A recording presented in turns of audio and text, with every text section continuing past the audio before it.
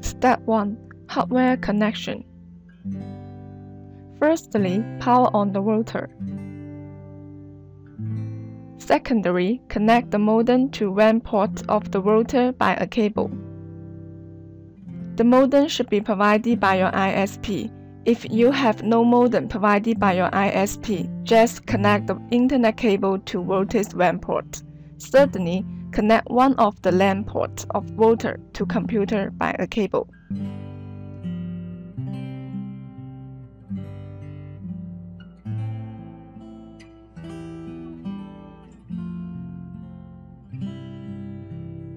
Step 2. Configure the computer. Right-click on the network icon at lower right corner. Click Open Network and Sharing Center.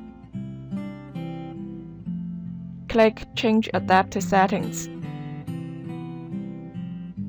Right-click Local Area Connection and then choose Properties.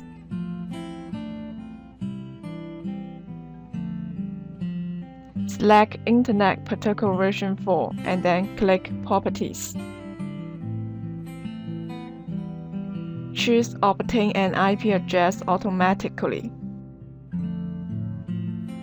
And then choose Obtain DNS server address automatically. Click OK.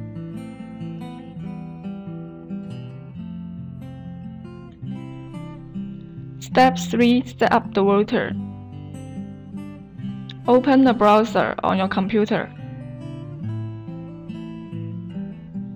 Type 192.168.0.1 in the address bar and then press enter.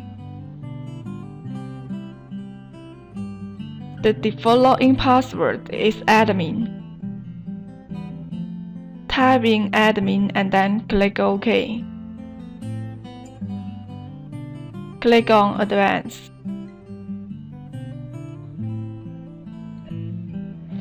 Click Internet Connection Setup.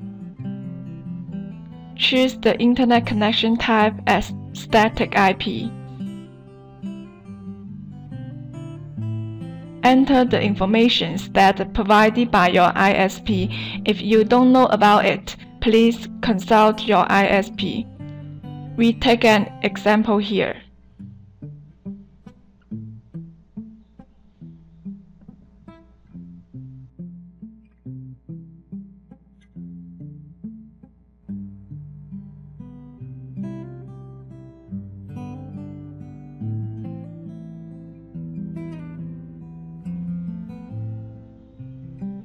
Check the connection status.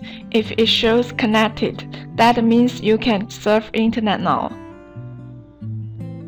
Click Wireless. Change the primary SSID as you want.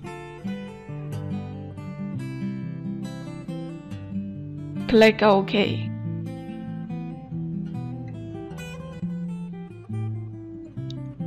Click Wireless Security. Disable WPS settings. Change the security key as you want.